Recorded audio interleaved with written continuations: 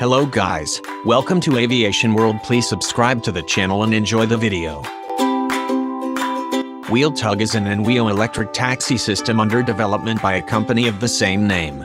Entry into service is projected for the second half of 2022. The system enables airplanes to taxi forward and backward without needing a tow tractor or using main jet engines. WheelTug accomplishes this goal through twin electric motors installed in the nose wheels. These motors are powered by the aircraft's auxiliary power unit, APU. Pilots control the aircraft, perform ground operations without requiring tugs for maneuvers. Since jet engines are turned off, the electric taxiing system lowers the aircraft's emissions.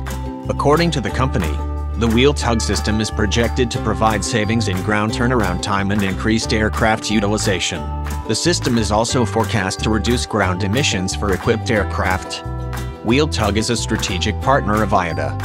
WheelTug was founded in 2005. The company demonstrated prototypes of the system in 2005, 2010, 2012. The most recent demonstration was in September 2020. As of April 2021, airlines have reserved over 2,000 WheelTug systems for their aircraft.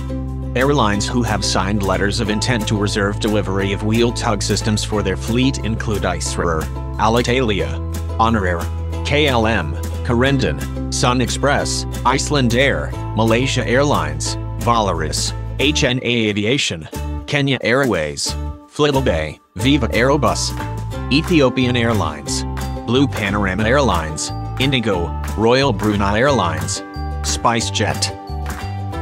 Thank you for watching this video. If you like this video make sure to hit the like button and subscribe to the channel.